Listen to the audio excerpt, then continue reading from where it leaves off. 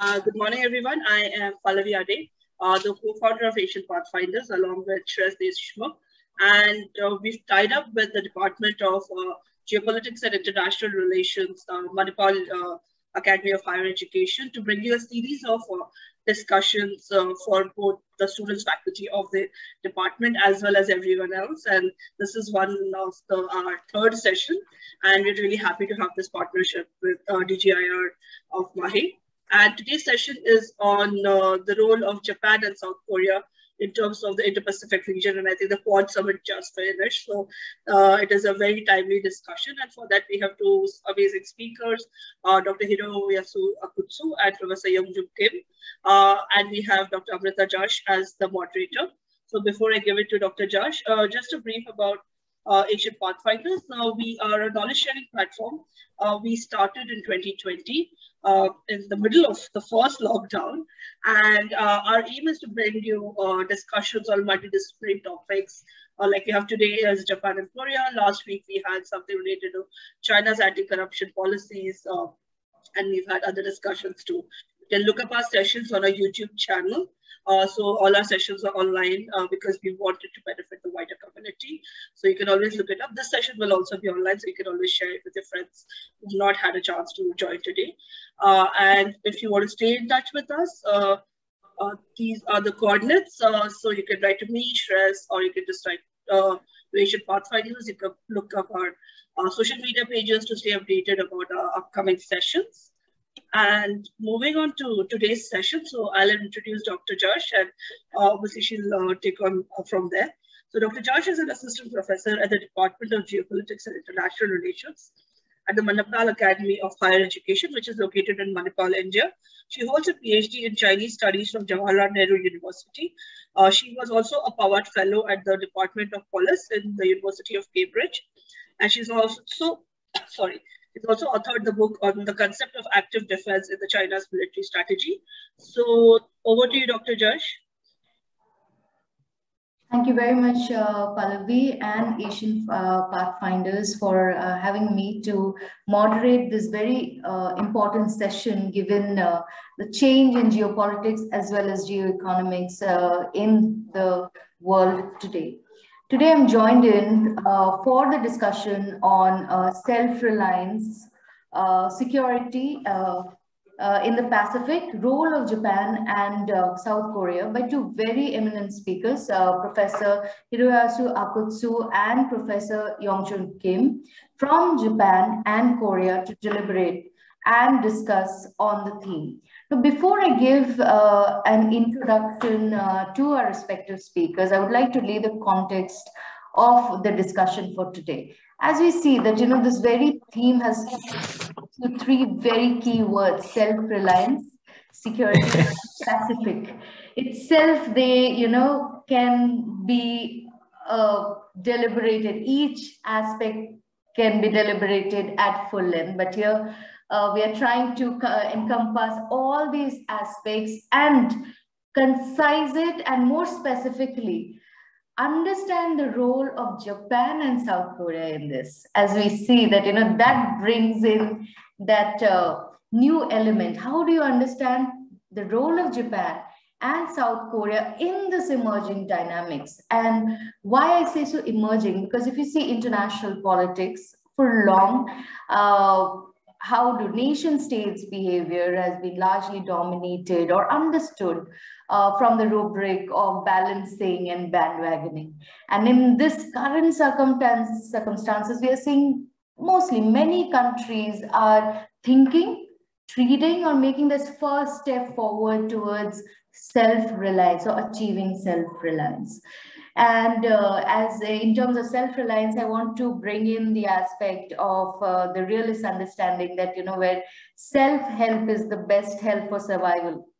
So linking it to self-reliance just lays the context of international relations. So we are getting back to realist thinking also in the current uh, Russia-Ukraine crisis. We see realism has emerged as the dominant school of thought in terms of how things are playing out. And also in the in, in the current vicinity we just had the quad summit and we're looking towards an indo-pacific economic uh, you know, uh, uh, framework that we are talking about. So security now is not just about uh, the conventional ways of secure thinking. With COVID-19, security has expanded its envelope. Human security has entered into the lexicon. So the state security, the, the idea that a nation state security compass is about your capabilities. It's about your self survival or rather the survival skills. And as Darwin said, survival of the fittest is the mantra in the current uh, uh, discourse. So in this uh, perspective, I would like our eminent speakers to throw uh, some light from their understanding because we have uh, a Japanese speaker and an uh, and a South Korean speaker. So, you know, from the ground they are speaking and the audience is Indian. What better mix than that? So this is really, uh, I'm like, we here are uh, really looking forward and engaging and uh, discussion with a greater food for thought to, to take away uh, to have as key takeaways after the discussion. And also, I also bring in that why we are discussing uh, Japan and South Korea is because they are very eminent or key stakeholders in the current security architecture. As we, as we expanded, we are no more talking about Asia Pacific, but the envelope has expanded to that of Indo-Pacific. So on that uh, note, I would like to invite the speakers. Uh, our first speaker for today is uh, Professor Hiroyasu Akutsu, who is Professor of International Politics and Security Studies at Heisei International University in Japan. He holds a PhD in Political Science and International Relations from the Australian National University until March 2022, he was Chief of Policy Simulation at the National Institute for Defense Studies, Ministry of Defense, Japan. He was a visiting fellow at the Royal United Services Institute in London, a Japan Chair visiting scholar at CSIS, amongst other profiles. Our second speaker for today is Professor uh, Youngjun Kim, who is professor at the Department of International Politics, uh, National Security College, Korea National Defense University. He holds a PhD in History of International Politics from the University of Kansas. Currently is a member of the National Security Advisory Board, the Republic of Korea President's Office, as well as member of the Central Committee, the Presidential Peaceful Unification Advisory Council, amongst other profiles. Professor Kim has authored the book on the origins of the North Korean garrison state, the People's Army, and the Korean War. So on that note, without further ado, I would like to invite the first speaker, Professor Akutsu. All to you, sir. May I request you to kindly unmute yourself?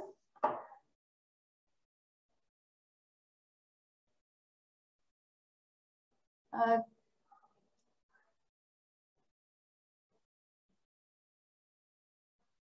First, let me uh, yeah unmute myself. Thank you very much for uh, kind uh, kind introduction. Uh, first, let me uh, share my slides. Uh, it's now being shared. Yes. Can can you see the slides?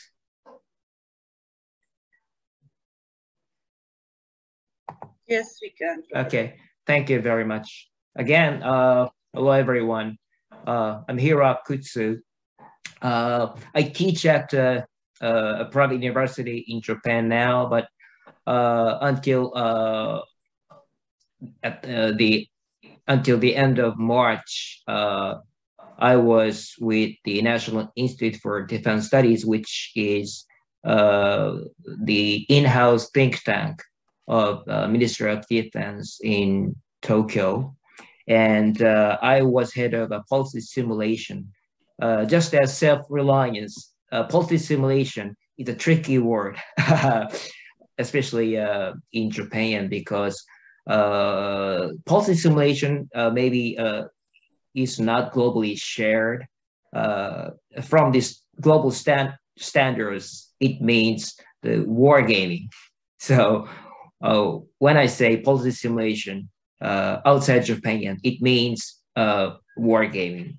But wargaming is a, is a I would say sensitive word in Japan because uh, war is uh, sort of uh, politically incorrect, and gaming is maybe bureaucratically uh, incorrect.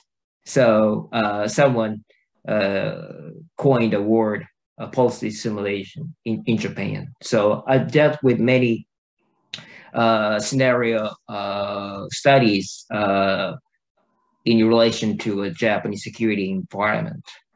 And then uh, Japan South Korea relations and uh, cooperation uh, bilaterally or trilaterally with the United States, our shared alliance uh, in terms of dealing with the, the common threat from North Korea. Uh, but uh, my work uh, actually went uh, over that. And uh, but anyway, uh, I left uh, that particular institute and am now working uh, in private capacity, and I'm here in my private capacity.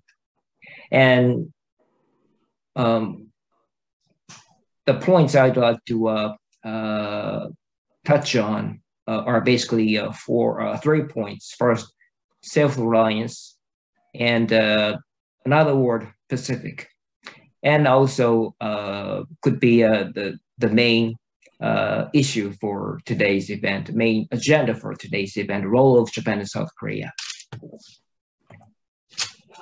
The first self-reliance, uh, as Dr. Uh, Jash uh, said, self-reliance could mean a lot and could mean differently according to each person or each uh, community in each uh, state.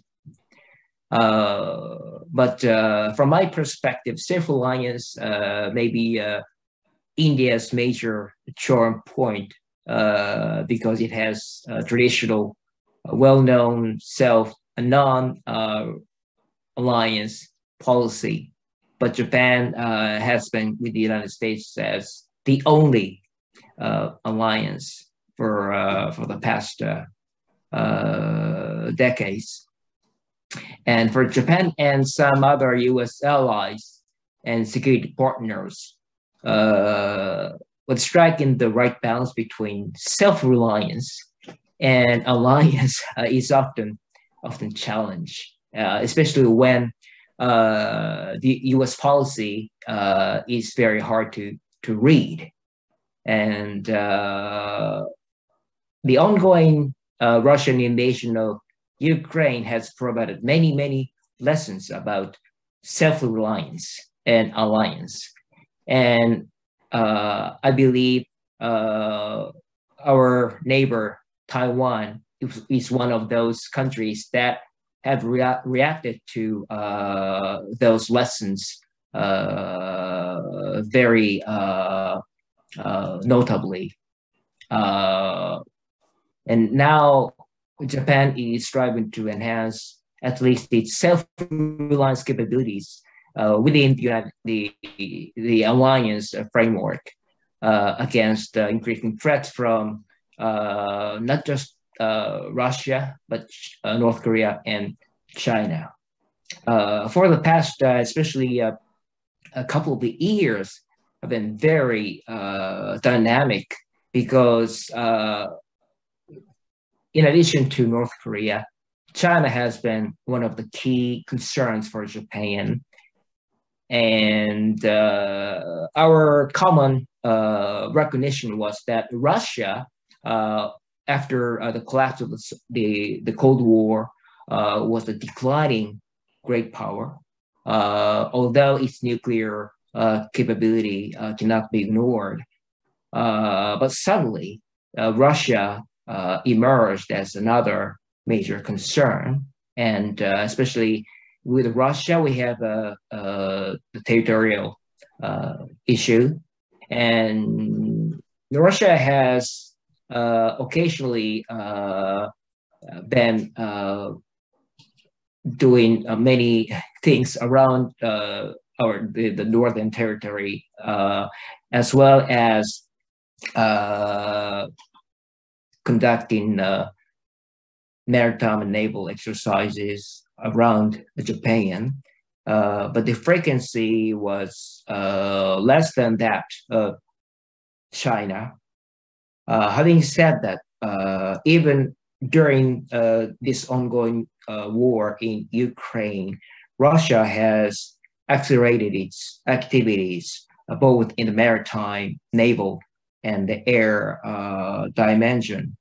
So suddenly, Russia uh, is becoming another major security concern for Japan. And after all, Japan is now faced with uh, what many people call the three fronts North Korea, China, uh, and Russia. Uh, we have these uh, issues. Japan has to deal with other issues uh, to uh, to fulfill its responsibility in securing uh, the Indo-Pacific. And talking of the security architecture, the Japan is now also striving to establish a stable uh, architecture uh, in in the region in cooperation with not just the United States but other like-minded countries, uh, India, uh, uh, sorry, yeah, India uh, and Australia and New Zealand, other like-minded countries, and also, as you know, some European security partners, like-minded countries, are also more often uh, coming to the region for uh, maritime and naval exercises, uh, the UK, France, and some other NATO uh, friends are uh, showing uh, greater interest in being involved in, in the region. And uh, again, Japan is striving to enhance its role in uh, cooperation with these countries. But situation is really dynamic. Uh, so uh, Japan, in, in, in, this regard, Japan is trying to uh, contribute to uh, Uh, the security of the whole region uh, from its uh, as its own uh, initiative, uh, even outside uh, the framework of Japan-U.S. alliance. But basically, the, given the current threat environment, as I said, the accelerating threat from the three fronts, Japan alliance policy option remains uh, the key uh, option for and mo uh, the most realistic uh, option for Japan. Uh, so basically, Japan's self-reliance is expanded within that uh, alliance framework and as well as security cooperation program with the like-minded countries. And next is the Pacific uh, I already uh, said uh, uh, Indo-Pacific and Asia Pacific in this region a uh, couple of times, but Pacific uh, as a new for particularly Japan and South Korea. Uh, because between uh, Japan and South Korea, North Korea uh, has been a traditional issue and uh, and also uh, as for Japan, U.S., South Korea, trilateral security cooperation, uh, North Korea has been, uh, I would say, the main the the issue. Uh, so Japan South Korea security cooperation is. Uh,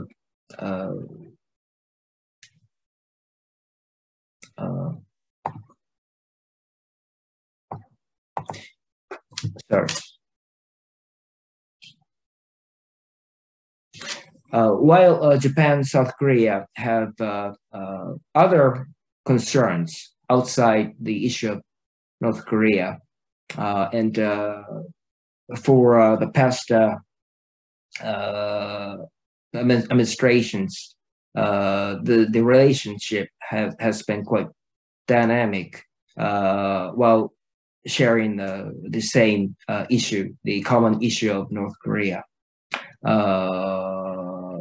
But to expand the uh, issue from North Korea and other existing uh, issues between the two countries, uh, the area where uh, those two countries have to deal with uh, is challenging. So Pacific means wider than the North Korea uh, and the region of Northeast Asia or even Asia. However, uh, as I said, not not just because of uh, the the ongoing Ukraine uh, war, uh, Russo-Ukraine war, uh, not just regional security issues, but global security issues are uh, deepening and also expanding. So it may be logical that Japan and South Korea uh, also have to deal with uh, expanding issues and evolving issues uh, in order to uh, to to uh, uh, catch up with the dynamic situation.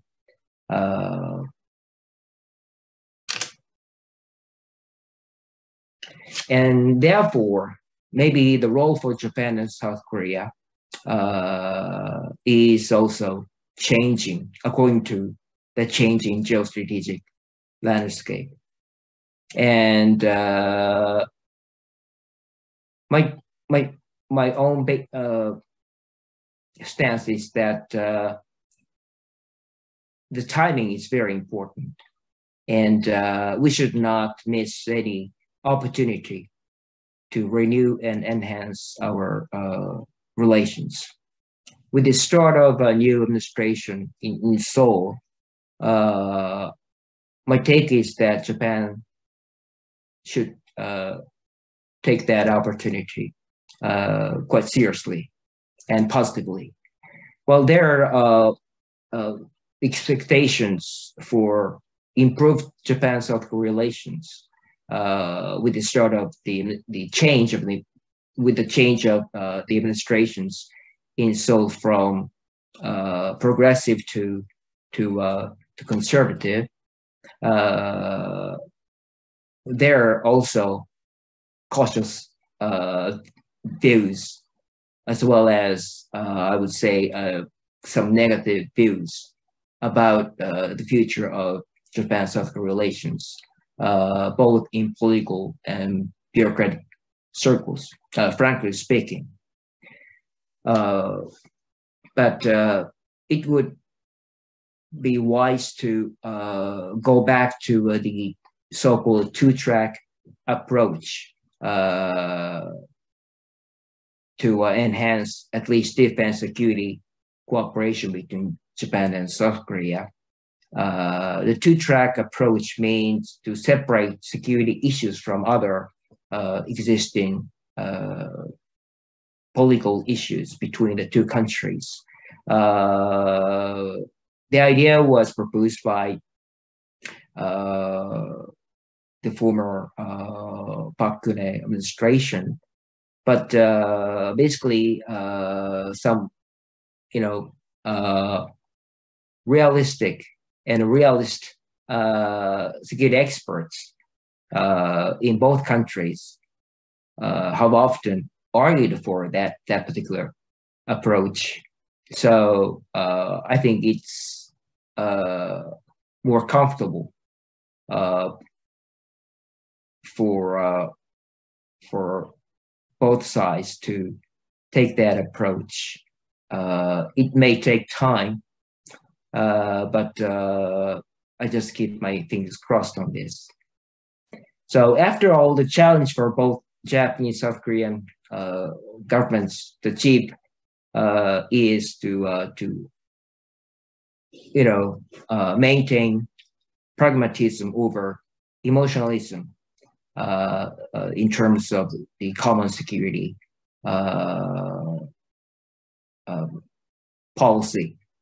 so it would be hard for both politicians to deal with the domestic uh, forces against uh, such a move, but uh, it worth, uh, it's worth trying. Uh, and uh, although North Korea remains the core security issue for Japan South Korea, if South Korea is to establish its own Indo-Pacific strategy, Japan should work to find a way to link it to its own uh, uh, Indo-Pacific strategy and uh, those of other like like-minded countries. And uh, welcome to uh, what I uh, what I call the Indo-Pacific strategy community in this changing security landscape.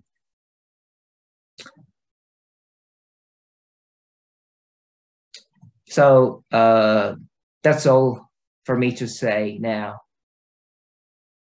Thank you. Thank you very much, uh, Professor Akutsu, for those uh, enlightening words. Now I'll proceed to our next speaker, Professor Youngjun Kim. Over to you, sir. Uh, thank you very much for having me today. It is an honor to join this wonderful group. And I'd like to share my uh, small PPT here. Can you see? It's Okay for you? Dr. Jash, okay, all right.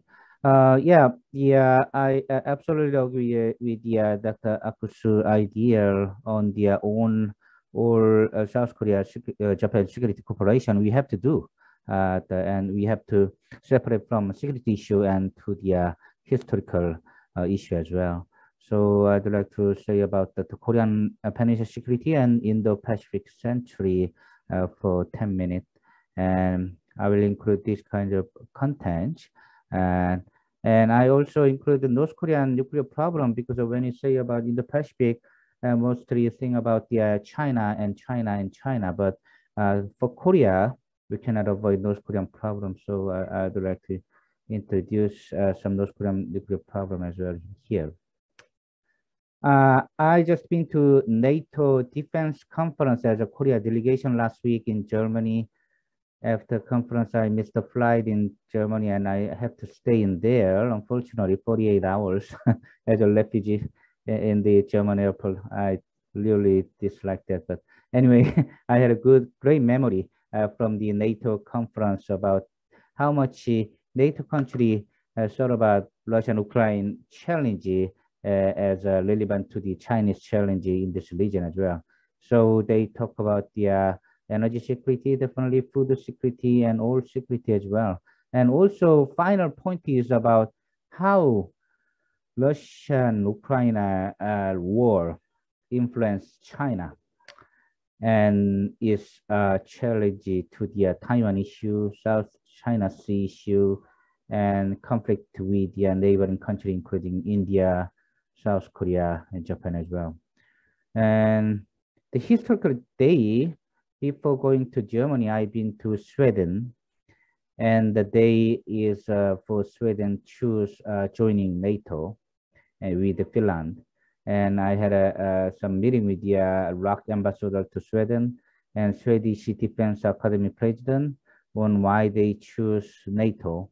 Uh, now we all know about the they give up their traditional as a the, uh, neutral country, but uh, choose NATO because of a Russian issue. And in, in this region, everything about the uh, potential conflict between the uh, two great power. And we now worry about the uh, uh, Taiwan issue. Really seriously, Washington DC think tank fund all about Taiwan issue and possibility of how the ROK army or Japanese army join this kind of yeah, conflict when it is happen uh, in this coming year. So now international situation that we face is not very different from the other country to Korea.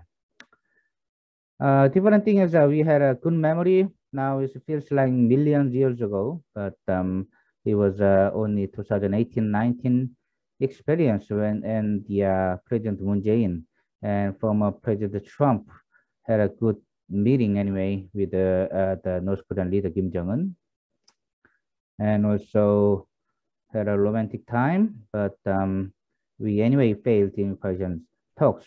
Uh, we can blame everybody, but um, anyway, now he has a, a very difficult imaging another North Korean US denuclearization talks.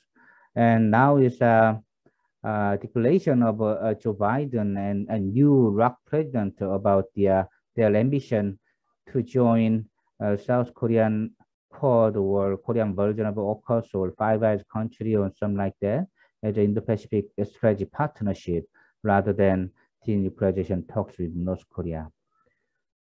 So how North Korean perspective on this one?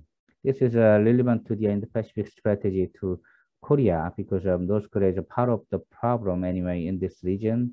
And North Korea now enjoy their opportunity because of China, Russia will never join any kind of US-led UN sanction. So sanction will not does work in this period because China Russia will not join this kind of sanction. So Kim Jong-un would like to develop their nuclear missile and now seventh nuclear test will be coming maybe in this year. So what is Kim Jong-un motivation and strategic goal we have to understand uh, in solving their problem? Uh, from my point of view, it is a little bit an uh, uh, exceptional view. Mean, Kim Jong-un definitely want to survive for the long term, maybe at least 40 or 50 years. So he want to copy Kim Il-sung, his grandfather's strategy. Kim Il-sung making his own middle class in North Korea. Uh, because at the time, more than 10% of South uh, North Korean population uh, went to South in avoiding purge. And at the time, all empty position in all area in North Korea. And Kim Il-sung fell into the position by educating a son and daughter of a very poor uh, peasant class. So to them, this is a very about mobility opportunity. And then they have a, the, the, the period of a making of a new middle class uh, for Kim Il-sung's legitimacy. Uh, and that time, 1950 and 60, it's golden period for North Korean economy, much better than South Korea. So this is kind of mutual benefit between the regime and beneficiary. Uh, I mean, Kim Il-sung and 20 or 30% of North Korean population of middle class now maintain this kind of garrison state. So Kim Jong-un want a copy of this in making his dictatorship for the long term. That's why he want to uh, make the deal with the U.S. Uh, for better economic development. At the same time, interestingly, another thing, second factor for Kim Jong-un to push is independent from what? From China. North Korea really want to be independent from China economically, politically, and psychologically. And Kim's regime rival has been always pro-Chinese faction, and Kim Il-sung purged all pro-Chinese North Korean political faction over the decade. So now it's more than 90%, 95% of North Korean total trade from China is mean kind of economic colonialization of North Korea. So Kim Jong-un really want to uh, avoid it. And when Chinese government suggests one belt, one road initiative to North Korea, North Korea definitely oppose it. So Kim Jong-un has kind of interesting position now between the uh, China and other country. But now uh, the situation is not good uh, because Kim Jong-un has no choice, only to choose Chinese side. So uh, from this kind of interpretation, I suggest a, uh, some policy option uh, over the decades. So now Kim Il-sung image as a populistic leader in North Korea, whether we believe or not, anyway, uh, his image in North Korean people, they forgot his dictatorship, but rather focusing on them. Yeah, Kim Jong-un uh, want to copy his grandfather image. I don't know why they cry every time, but uh, famous soldier love it. And he loved children. Oh, why cry? And then he want to be another Kim Il-sung, right? Old mess. And as I said earlier, where is this one? This is not South Korea. This is North Korea middle class, upper middle class, Pyongyang water park. So this is not just for 1% of South Korean population. This is more like uh, water park ski for 20 or 30% population of North Korea. This is a problem because they anyway enjoy this kind of garrison state system and Kim Jong-un want to maintain this one. Do you know how many people North Korean have a cell phone? Dr. Jash, do you know? Yeah, whether it's smartphone or not, four to five million North Korean population it. This is a 24 salary, a 24 month salary price. So this kind of population already know South Korea is richer than them, but it doesn't matter for them because they are relatively uh, better life than other North Korean population. And how many people living in Pyongyang metropolitan area? Two to three million people. This is a core class for North Korea. And water park, Masikryong ski resort, this is not just for 1% of North Korean upper, middle, upper class. This is more like for 30% of North Korean upper middle class population who living in Pyongyang metropolitan and having cell phone and went to Kim Il-sung or uh, Kim Il-sung University or went to Kim Chaek Engineer University, it's a top, top university. And they got married each other, right? They have a kind of a class system. So always we complain about North Korea as a 1% to 99% society. No, definitely not. They have a 20, 20, 20, 20, 20% society. And bottom 20% of North Korean population is mostly defector, right? So Kim Jong-un want to maintain this kind of class system uh, by getting some money from outside. So tourism country or uh, assistance from the US or Japan money. So wow, what is the solution in uh, solving North Korean problem? Unfortunately, we have only three choice so far. If ever any, any other new idea, it will be Nobel Peace Prize. But uh, so far, we have only three options. Wait and see. Maybe someday they will collapse, right? Sanction and sanction and sanction, maybe there will be surrender or collapse. So we have tried over the strategy patience period, 10 years, but the problem to sanction really work. How about Russia? Putin enjoy sanction kind of in maintaining their dictatorship, whether we love or not. And any example of state collapse by sanction in human history? No, nothing. So uh, it'll be kind of difficult to uh, the, the solve the problem North Korea by only sanction and collapse theory. So another option will be bloody nose, military attack. Trump seriously consider uh, limited military attack on Yongbyon facility. Personally, I support this one, but no South Korea support this option. So uh, Johnson, Nixon, and Trump, actually Clinton, right, in 1994, seriously uh, consider this option as a solution. But no South Korean support this one because of uh, hundreds of thousands uh, Seoul population will be died uh, from those kind of election. How about military coup or uprising information affairs? So it'll be difficult. So I think it's uh, the Moon Jae-in government option is not a choice, but an only option other than this kind of uh, solution. So I think it's Kim Jong-un from uh, intelligence agency or uh, other open sources supported, he want to be a king, but in their context, cooking, cooking means uh, to provide food and uh, hot shower or uh, good housing, but want to stay in a kingdom place forever, right? So maybe Middle East kingdom or kind of country will be Kim Jong-un's model. So our choice, do we accept North Korea as a kingdom country? How about political human rights? It's a lot of issue we, we face now is um, and otherwise only sanction does not work uh, for North Korea collapse or surrender for North Korea nuclear problem. So I, I just suggest this kind of option for uh, further discussion. I'm not choosing one of them as a, a Korean security issue. And more in a larger picture, the, the, the Indo-Pacific uh, situation now is uh, kind of factor in shaping world peace in this region. Anyway, the ROK will join the Quad, the five country in these five years. I support this one. But anyway, North Korea will conduct seven, eight, nine times nuclear tests, and US will to sanction and sanction and sanction, but China and Russia will never join.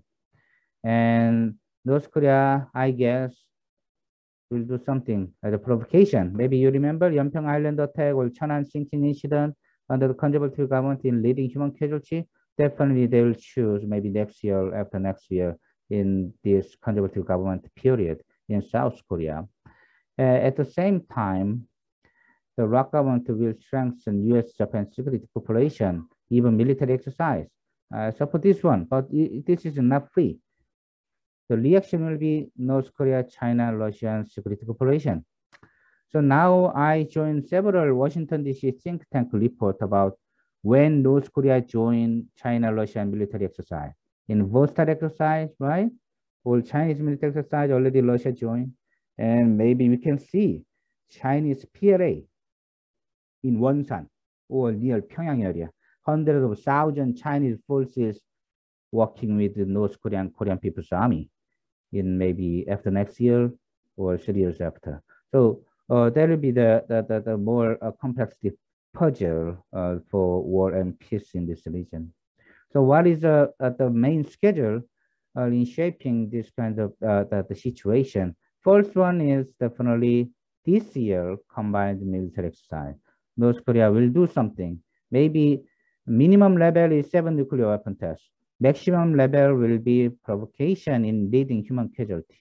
So maybe we can see something very negative uh, outcome. Uh, but anyway, I support the ROK US combined exercise more uh, expansion. And another thing is, uh, as everybody know, US midterm election, if Democratic party, Joe Biden lose a large margin uh, the, the, the, against GOP in this year, maybe Joe Biden will be a useless presidency uh, for the next two years. So if, if Trump or Trump party had a big, bigger, wig, bigger gain in this uh, election, uh, now after two years, uh, will be um, uh, the White House doing nothing. So another thing is uh, 2024 general election is important for the, the ROK, new ROK administration initiative. And more important thing is uh, possibility of re-election of former President Trump or Trump supported GOP candidate. It'll be two years only left now. It'll be a the huge, huge factor in changing in the Pacific region, also Korean Peninsula security situation this is not the long term. We only have a two years now, U.S. presidential election. So it will be the, the important uh, the future schedule uh, in guessing uh, what will be happen in this region. And now uh, the U.S. Uh, presidential election, if Biden win or Trump win, Biden win, it will be same FFVD or CVID for the inflation process. Trump win, maybe different approach. Trump always unconventional, arms control, step by step, even peace treaty. But also at the same time, as you now know, the former President Trump really considered about reduction or withdrawal of United States forces in Korea. So it will be another issue if Trump win the election. So it will be the huge, huge impact on the Korean Peninsula security or in the Pacific uh, security also, now a person is supposed to lock US Japan military side.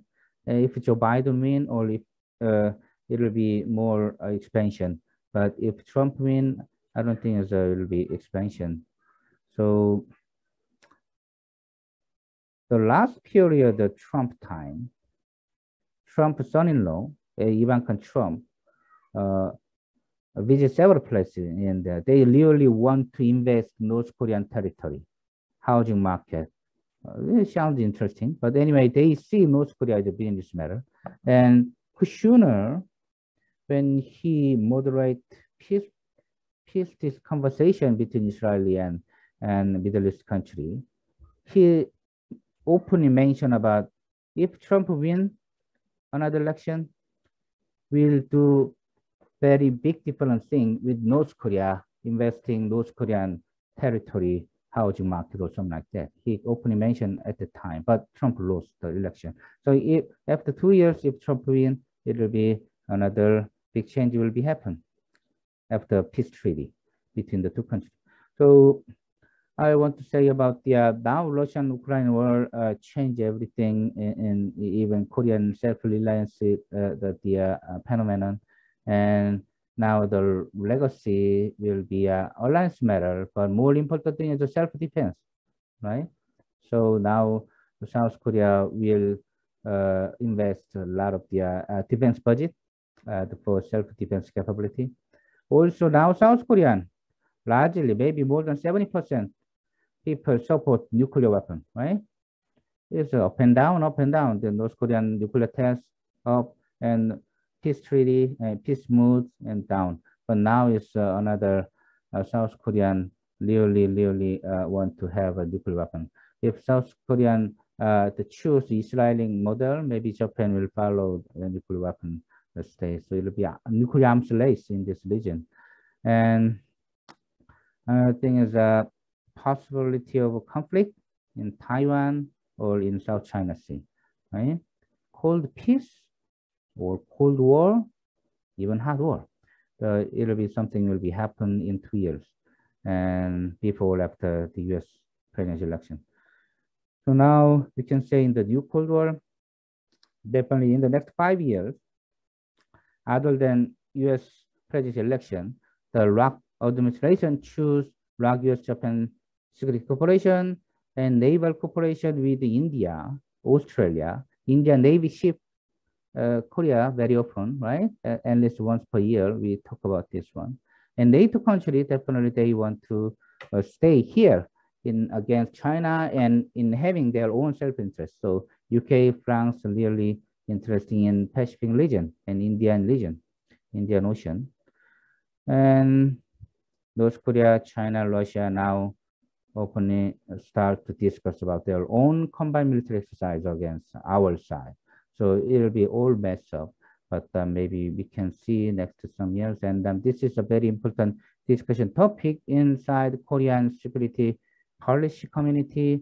And I'd like to introduce this kind of topic to you and we can have a more discussion. Yeah, thank you very much. Thank you very much, Professor Kim, for mm -hmm. uh, those very uh, significant deliberations on the subject. Uh, I would like to now open the floor for Q&A. Uh, but before I start off with the, the list of questions, uh, I just want to throw a, a, question to both the speakers, just, you know, being from Japan and Korea, can these countries afford to choose self-reliance uh, in practice uh, in their security framework uh, when they are part of the larger, you know, US security architecture being more spe specifically being part of United States hub and spoke system from uh, the post-World War II time. So how do you both see the situation uh, in this context? Uh, and uh, adding to that, I would uh, like to start off with Shreyas's question. Uh, already Professor Akutsu has answered, but for the convenience of other uh, participants as well. Uh, has asked the question as to what does stability security architecture, uh, what does a stable security architecture means and is there any existing model per se to, you know, find or attribute to the stability? So we can proceed with that question and then uh, I can come up with the other questions that are listed.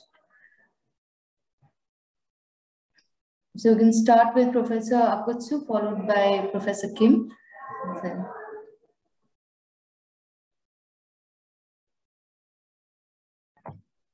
Well, thank you for uh, the question. I already uh, responded to uh, that particular question uh, in uh, the QA, uh, sorry, the chat box. But at the very conceptual level, NATO has been often referred to as sort of the model for security architecture, even in the Indo-Pacific.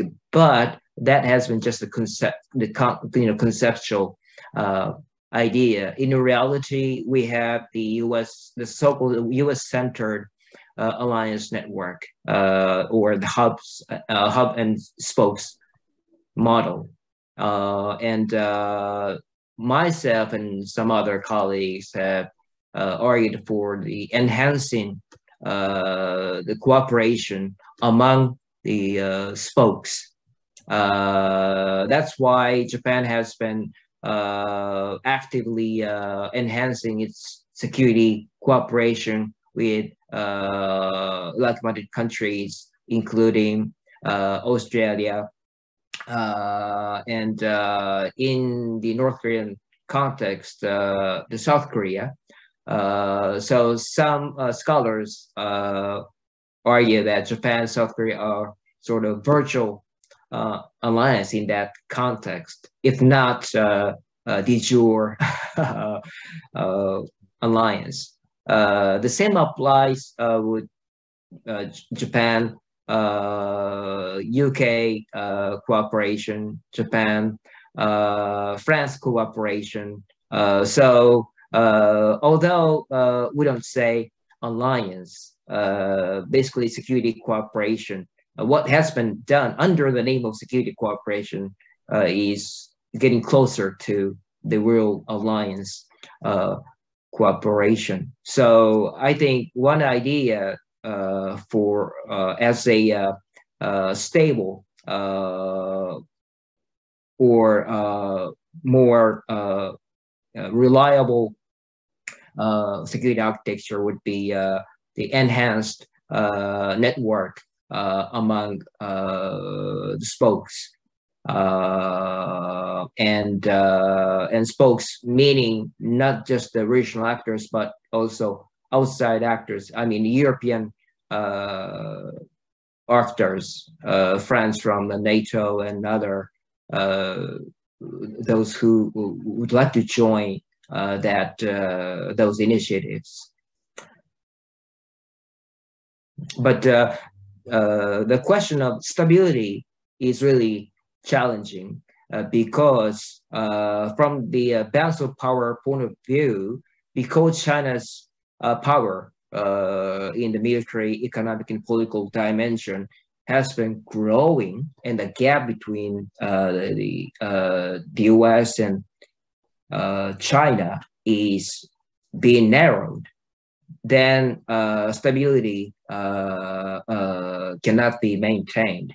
Therefore, for, for the time being, it's better to increase the overall power by enhancing cooperation among spokes to uh, maintain uh, the, the gap, uh, the power gap between the US and China by having uh, the US centered alliance network uh, but uh, the, then, then the next question should be how long uh, can we maintain uh, that power gap uh, to be to, to be stable? and as I said, and Russia with still a, a nuclear power is strengthening its ties with China. And as Professor Kim pointedly showed uh, China, Russia, North Korea security cooperation. Uh, they have their own security architecture. So uh, then now we have to think of uh, while establishing our own security act, architecture and how to make it stable, then how to deal with those other uh, opposing architecture. Let me stop here. Over to you, Professor Kim. Yeah, uh, mostly and 100% uh, I agree with yeah, Professor Akutsu. And and um, yeah, yeah, definitely realistically, uh, we, we need to consider stable security architecture as a NATO model or even US hub center uh, model as well. So NATO uh, NATO model is also US center alliance. yeah, that's right. Yeah, right. So awesome. So and uh, the Tony Blinken already mentioned about the three pillar the, for maintaining uh, that, this network is about the AUKUS and Quad and in the Pacific Economic Framework, as uh, already Professor Akutsu mentioned. So uh, whether we love or not, a balance of power now is China, Russia, North Korea, Iran, or Pakistan country, their good relation. And also we need to have a, our own uh, relation, even though we are maintaining anyway a good trade with China and personal level. We have a lot of Chinese brand anyway, but the Xi Jinping and Putin leadership is getting more dictatorship. So we are now sharing democratic value, right? And human rights and the liberal democratic capitalist system. So India and Australia and Korea, Japan, and other countries have to share our own interest and, and value, uh, especially post Second World War order, uh, to to uh, having a kind of a NATO model or even whatever we call uh, the great uh, security architecture model against the revisionist country. So uh, economic and trade level and personal level, anyway, we have to have a good relation with the China, Russia, and other country. And personal friend is okay. But um, as a security and um, more state level, we have to do something together. So right now, I think the India is very important position because India is uh, traditionally right neutral uh, the, the, the foreign policy tradition and now US want to have a more close relation. And I really want to ask India in our side uh, at the same time maintaining good relation with uh, Russia but uh, uh, we need to do something together. And uh, maybe United Nations Command in Korea is a one uh, one good option. Already exists model under the UN umbrella. And in Japan we have already uh, military base in Japan, seventh place. So the, we can use this model also as a good uh, good uh, base uh, for making a new security architecture, whatever we call. So that's my answer. Uh, thank you very much, uh, Professor Kim. Uh, as we have stepped time, I just wanted to request uh, both the speakers that can be exceeded by 10 minutes, given there's a host of questions. So is this, is that okay? If we stretch it until 12, 10, uh, and uh, we, uh, and I would then, because there are a lot of questions, I'll request both the speakers to keep their answers uh, to uh, brevity so that we can take maximum questions. Uh, this question by a student at MHDIR, uh, DGIR, Pritish Kamath, regarding the rare earth metals that, you know, how can Japan and uh, Korea achieve self-reliance in protecting the strategic minerals, especially rare met, uh, uh, metals? Uh, the other question uh, is that, and also that what steps can these countries take in doing so? The, there's another question that does by uh, Shravan, uh, by Mr. Shravan that says that does the historical interaction of Japan and South Korea still pose any hindrance to these two countries building stronger security relations? Uh, so as we proceed with these two, then I'll proceed with the further questions. So over to you, Professor Kim, and then uh, Professor Akutsu in this case. Yeah, to South Korea, we have a very emotional and historic issue with Japan. Uh, but at the same time, we easily forget our Chinese aggressive. They uh, attack us over the 2,000 years and Japan uh, colonial period only 30 years. So it's unbalanced. But um, so we have more commonality rather than differences. So uh, Korean people really love Japanese culture and Japanese friend and as a personal level, Japanese also as well. So uh, it's a time for a good chance now is to have a very good personal level, institutional level relation, human exchange, right? Local level government, elementary school to share common historical textbook and share democratic value.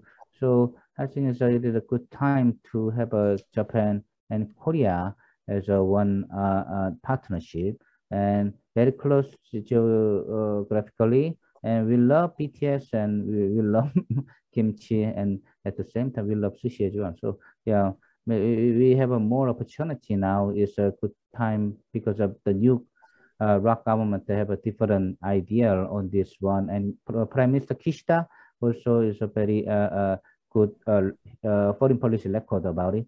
So I think we need to start something better for our next generation. And um, also another question is about uh, from the chatting, the unification issue. And um, I, I, think it's a South North Korea doesn't have to be unified in, in coming years. maybe without war, maybe we can peaceful coexistence will be a better option. So now it's the young generation support it. And um, uh, maybe we can do some humanitarian assistance, but not war and not uh, one unified country. Because Kim's regime, with Kim's regime, we cannot do anything because of they want to uh, have a power for the forever. So maybe we can just uh, do differently, living without war. So peaceful coexistence maybe for the next decade, maybe someday under the democratic value, South Korea will be better system to have a North Korean children. So uh, I think it's, uh, uh, we need the time to have North Korea, not in two or three decades, but maybe after 50 years or 100 years, someday will be one country. But now is uh, under the 50 years old generation, they support no unification in, in a coming soon. So now it will be at the major uh, public opinion. Yeah. Thank you. Uh, what do you, Professor Akutsu, on if you can take on the question on the strategic minerals? Oh, uh, let, let, me let me say something about Japan-South Korea relations. I think uh, it's now good time uh, to improve our relations because not just the change of administration, but uh, for the past uh, almost three years, the uh, COVID-19 uh, you know, has kept us from inviting and welcoming students from South Korea. But now our government is releasing those restrictions and start welcoming South Korean students as well. So I think the the more cultural exchanges and academic exchanges would help uh, improve uh, you know uh, the relations uh, in the overall terms. So uh, again, in this regard as well, I just keep my fingers crossed. And as for reunification, I think uh, I, I, I agree with the what Professor Kim has just said. I personally uh, was sort of a consultant for North Korean students when I was uh, in Australia. At the ANU, there was a program to, uh, to help educate uh, North Korean students. And, and uh, I was uh, appointed as a sort of consultant for those students with some students from South Korea at, at ANU uh, many many years ago. it was uh, in, in late 1990s.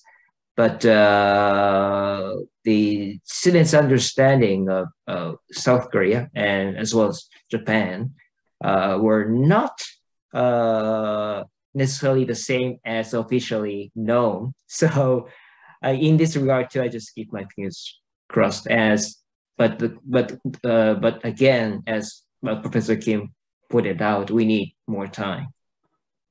Thank you. Uh, and any of you want to address the issue on strategic minerals, as I asked to both of you, that you know self-reliance on strategic minerals, rare earth metals. Would Japan and South Korea deliberating on self-reliance on their strategic minerals, that is rare earth metals? Uh, I, I don't really get the the, the question. The, the Japan South Korea yeah, in terms of self, in achieving self-reliance on securing strategic minerals, uh, uh, specifically in the context of rare earth metals. In, in the context of what? Rare Sorry. earth metals, rare earth, rare earth. Pardon me, sorry. Rare earth, rare earth are Okay, we can uh, just uh, uh, step, step two. Uh, this would be too much of a broad of an uh, context. So now I'll uh, move to the other question, which is addressed specifically to Dr. Kim. And this is regarding um, how is South Korea perceiving the current developments in the Quad platform? And also how is ROK trying to act on the apprehensions of North Korea's excessive dependence on China? Actually, over the five years, we tried to, as I said earlier, North Korea really feel about Chinese colonialization. And Kim's regime is always liable against pro-Chinese North Korean faction. So Moon Jae-in government really want to use this one, uh, make North Korea independent from China. But uh, it was not very successful and the lack of understanding of the US side and lack of incentive for the US because after peace treaty, there is no reason for UNC to stay in Korean Peninsula or something like that. And Chinese issue, North Korea is a very good region against China uh, for the USFK. So uh, it was kind of, uh, uh unfortunately, Moon Jae-in government's policy was not very successful. And now is a new time because um, not only North Korea issue, but international situation uh, change Korean Peninsula uh, security issue as well. North Korea already seems like choose next five year policy, right? They want to have a partnership with China and Russia against the US. And South Korea seems like already choose Quad in the Pacific and Century and um, uh, Japan as a security partner, which is good for me.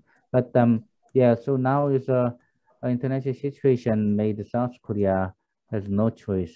Uh, North Korea say goodbye, but no war uh, for the next five years, and um, we can uh, have our, our own self defense capability also at the same time in the Pacific Alliance network against uh, Chinese aggression. So I think China is a more fundamental problem rather than North Korea. North Korea without nuclear program, their position is not very strong. But China is a huge issue. It's too close and too have a many story over the 2000 years uh, for Korea. So China is bigger problem and we need to manage North Korea problem with my friend India, US, and Japan. So that's my answer. Uh, as there are many more questions, but the, uh, we have reached that final question by uh, Mr. Oh, sorry, can I jump in? Yeah, sure. Oh, okay, sorry. Uh, so, uh, Dr. Uh, Jash, uh, you, you mentioned the credible deterrence. The question of deterrence, is that the question he asked or? No. Oh, okay, sorry, that's something different. Sorry about that. So I was just uh, approaching towards the question which is specifically for you by Mr. Lak uh, Lakwinder Singh, with, as he asked that to what extent and direction the Ukraine war will impact Japan's security policy in going forward. Uh, so uh, your take on this. And there's another question uh, to further add on that credible deterrence that, uh, okay, no, that's you asked. No, no, that's it. That's it. That's your yeah. query that you asked, yeah. Yeah, so the nuclear, yeah. Uh, I'll halt on, uh, you know, how Japan is viewing the Ukraine crisis, so the question on that, if you can address. Thank you. Uh, Professor Akutsu, yes. question on Ukraine for you. If you can Ukraine. Yes. Yeah, so I'll uh, just reiterate that to what extent and direction Ukraine war will impact Japan's security policy in going forward?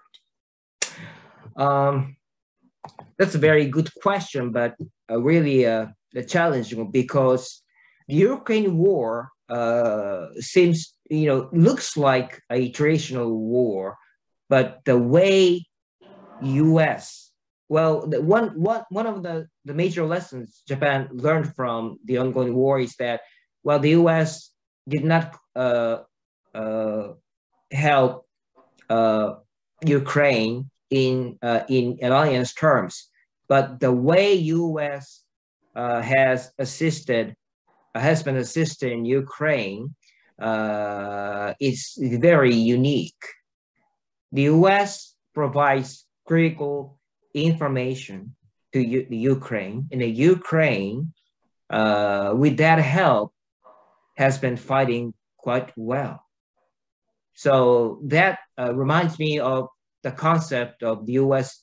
information umbrella. For, for the past uh, several years, the U.S. has worked very hard to uh, improve its intelligence and information uh, capability to fight the so-called gray zone or hybrid warfare uh, uh, and conceived of uh, many aspects of what's really uh, going on. So, so, so many, many respect, the U.S. was ready to deal with uh, the uh, the war uh, similar uh, or some the uh, the situation similar to the ongoing war, and my take is the U.S. has been applying to that uh, prepared strategy to, to, to Ukraine.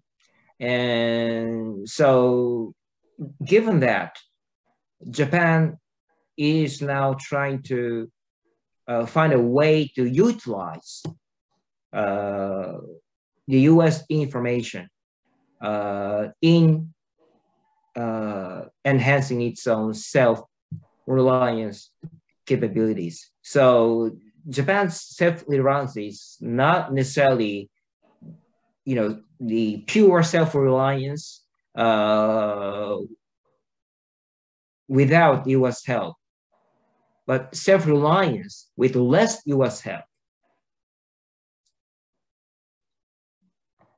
Uh, thank you very much, uh, Professor Akutsu. So on that note, I would like to thank uh, both our speakers, Professor Kim and Professor Akutsu, for deliberating on this pertinent subject with uh, clarity and taking uh, each of the questions with patience and delving on it with furthermore clarity. So there's a lot of key takeaways that the participants have, so as I.